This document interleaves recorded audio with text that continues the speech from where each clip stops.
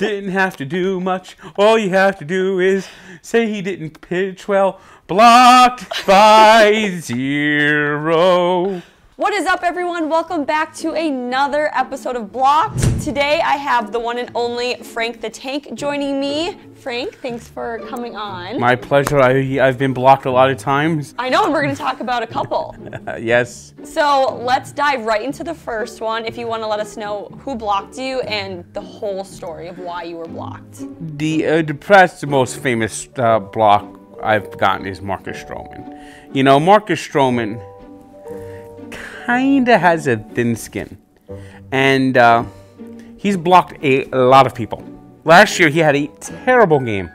A terrible game. He, like, he gave up like three home runs.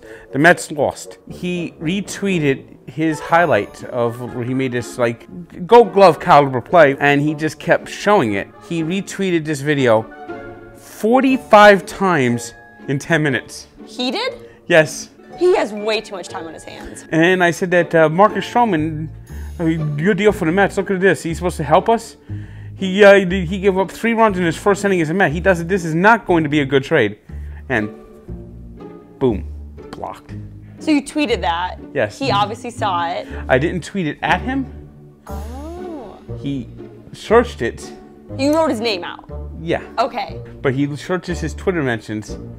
And if he's if people criticize him on Twitter, he blocks them. What did you do when you found out he blocked you?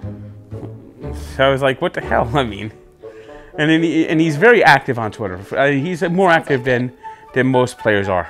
Yeah, he sounds like he kind of lives. I mean, he's not the first player that uh, that's blocked me. Wait, though, didn't you have a song though? Blocked by zero. Do, do, do. Didn't have to do much. All you have to do is say he didn't pitch well. Blocked by zero. And then, did you think that he heard this song? I don't know if he's heard this song. It's not like it's not like I was outright blocked for a song, and that's another story. yes. So should we get into the other person who Yes. blocked you? Todd Frazier, and, and this was totally worth being blocked. And when was this?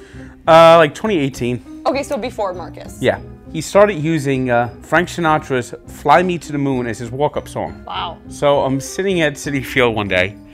He's having a terrible game. The Mets are losing, and uh, he comes out to the bat with "Fly Me to the Moon," and so I just came up with the song.